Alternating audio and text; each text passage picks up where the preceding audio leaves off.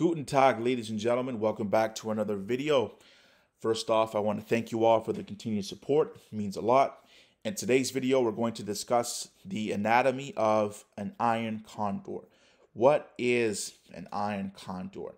Essentially, an iron condor is a strategy that benefits or profits from a stock trading sideways or trading within a pretty narrow range.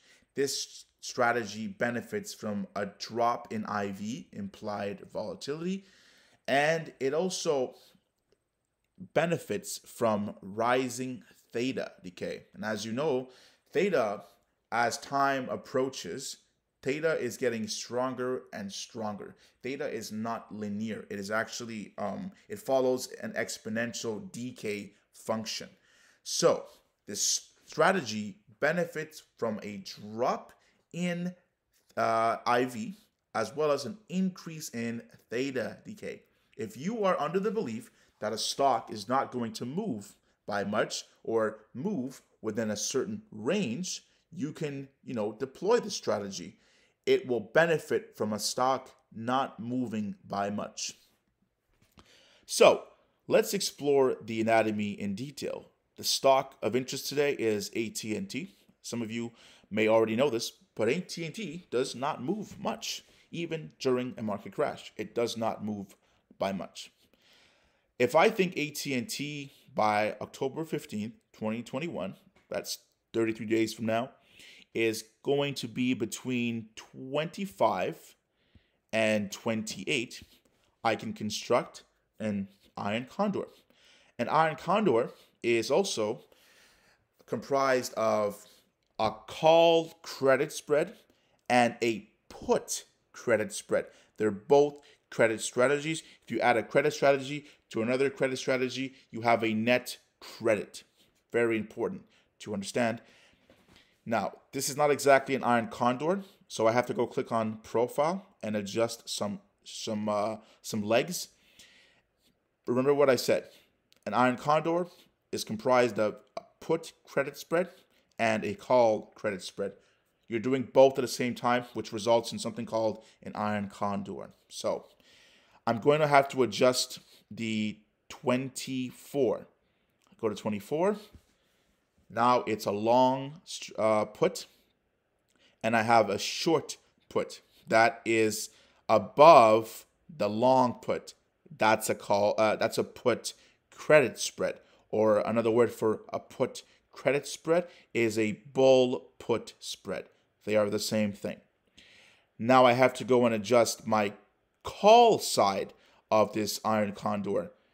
Since it's comprised of a call credit spread and a put credit spread, I'm going to have to adjust the $28 strike and make it a sell order instead of a buy order.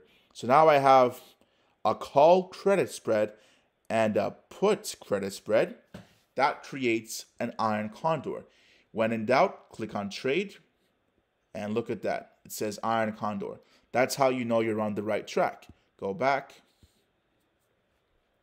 Now, always assess your max profit slash max return as well as your max loss. Before you open any strategy, always be mindful of your P&L profile. You need to know what you stand to win and what you stand to lose. How could you start any position without assessing your P&L profile? It's absolutely absurd to me.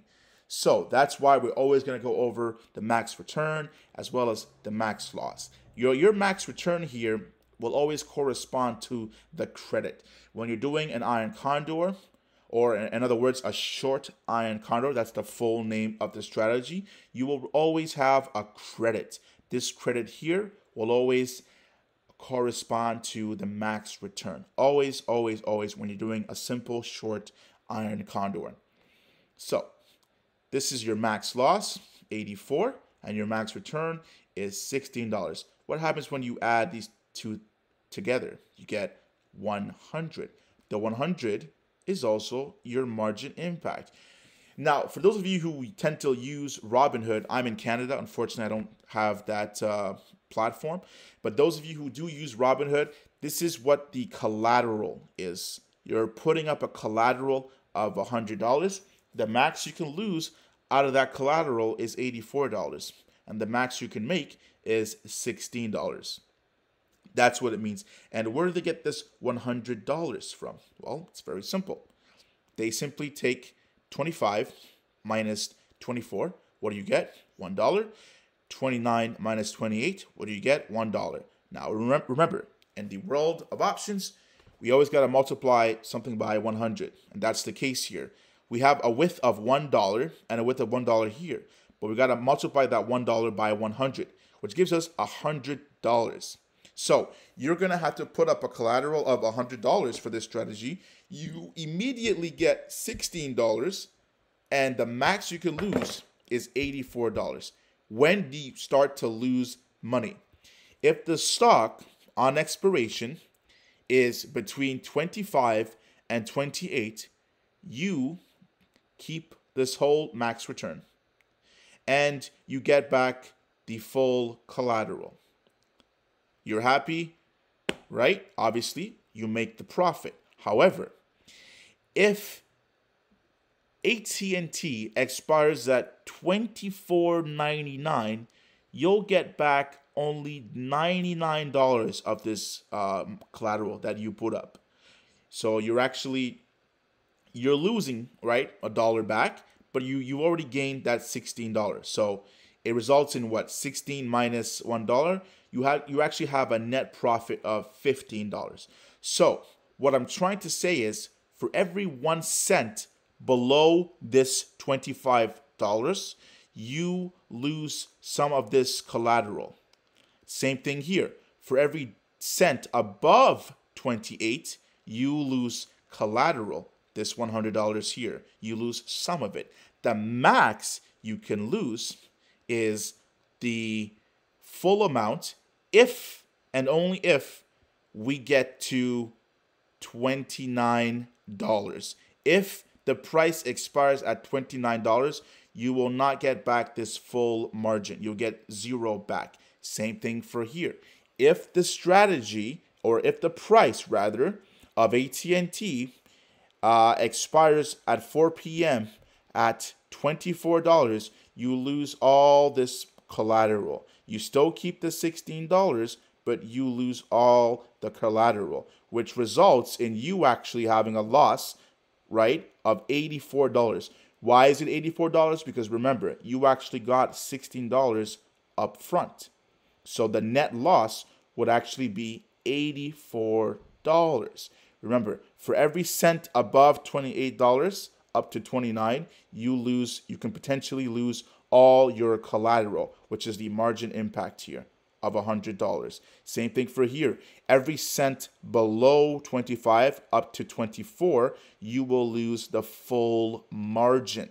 Very important to understand. Now, let us go to one of my favorite sites, optionsstrat.com. Now, this is a much more visually appealing um, you know, website, and that's why I use it. You can easily see your P&L profile. It's much more visually appealing. Here, look at this. We go here. All right. So, if we actually land at $24.82 on expiration, October 15th, I will break even at 24.82 and I will also break even at 28.18. Now I know the numbers are a little bit off here, okay? Let's just pretend for a minute that this actually says 16 here and this actually says 84, right? As it did before 1684. It's going to be a little bit off because option strat, I believe there's some type of delay, so that's why the numbers are a bit off but it's still the same concept. Nothing has changed. This is still an iron condor or a short iron condor if you want to be uh, use the ex- extended form of the title. So if I if the price expires within the range notice how I profit. The green implies that you profit up to the break even, which by the name you break even. Revenue equals your cost. You don't make money, nor do you lose money. Anything up below that point starts losing money. Same thing for the call credit side of the strategy. You have losses after 28 18. Look at that. And the max you can lose is always the max loss, right? You cannot lose more than the amount that it says. Max loss is 82, means you cannot lose more than 82, even if you tried. You can't lose more than that. So it profits, as you can see, if it stays within the range. As long as you're within the range, you make money. That's just how this strategy works. Anything outside of this range, you automatically lose money. But the max you can lose is the max loss, right? You cannot lose more than that amount. So your risk is defined, and so is your profit.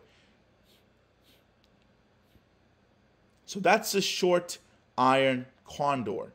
I hope this helps. If you have any questions at all, as always, feel free to message me in the comment section. I'm here to help you guys. Thank you all for watching. And on this note, have a fantastic day. Thank you very much.